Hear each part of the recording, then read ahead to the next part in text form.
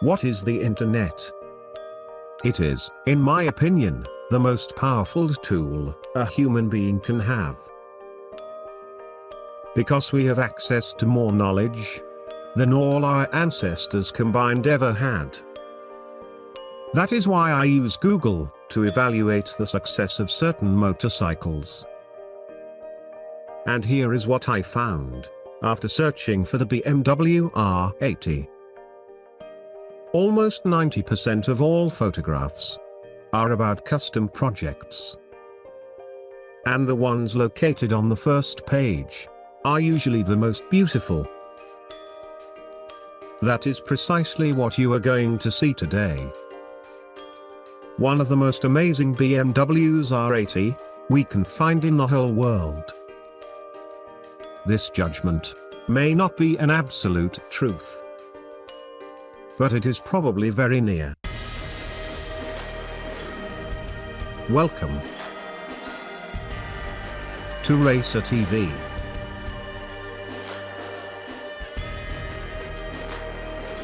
Extremely simple. Isn't it? But at the same time, you know that there is something different. It may be similar to many other BMW projects. But there is something unusual. This is the work of ROA Motorcycles, located in Spain. Most of their works are very nice. But this BMW is definitely my favorite. Very discreet. Excellent material combination. Very well built. And extremely well proportioned. Notice how the headlamp brackets are perfectly aligned with the top of the fuel tank. The size of the turn signals, which are almost undetected the first time we see it. Although the dirt tires may point this motorcycle as sort of a scrambler, everything else is completely cafe racer. And that is where this project makes the difference. Unlike the majority of all BMW R80 projects, this seat is one of the best cafe racer seats I've ever seen. It has a subtle shape. A very nice combination of two different materials and it is very functional. Because the rear can be used by a second rider. An excellent example of how a simple project can turn a BMW into something as beautiful as this one. But now I am going to finish this video, in a very different way from the usual. I want to share with you something I bought very recently.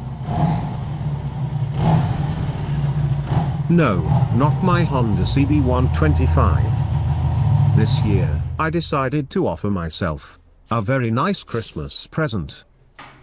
And here is how it sounds. Do you recognize it?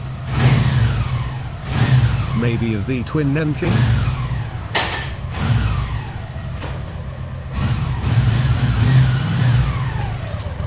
Definitely a Honda CX650.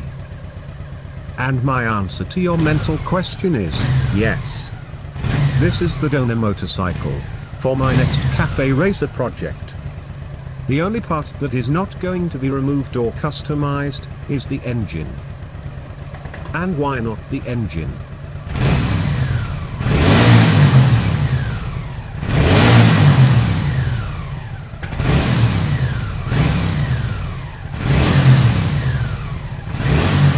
Considering the way it revs, I think it is powerful enough already. Even because I don't need more than 65 horses.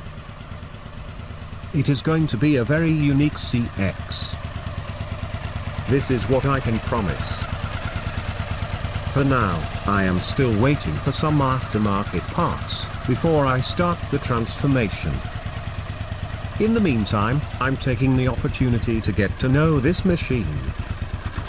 And I have to confess, I am really very happy with it.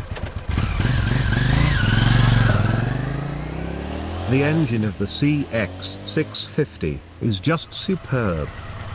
But here is a small demonstration.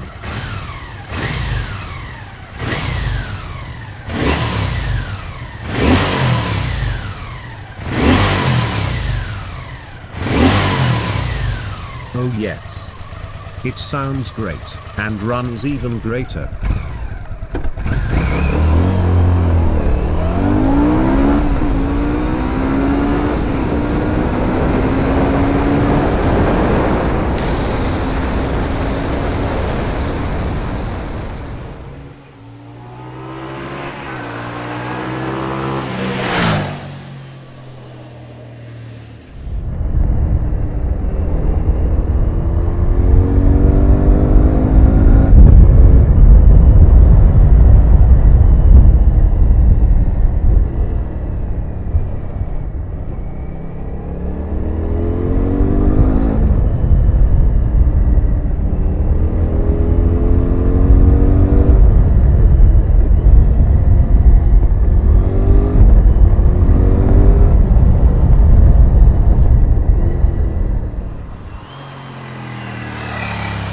I can't wait to see it done. But until then, I wish you a Merry Christmas. Thank you for watching Racer TV. And as always, I hope to see you next week.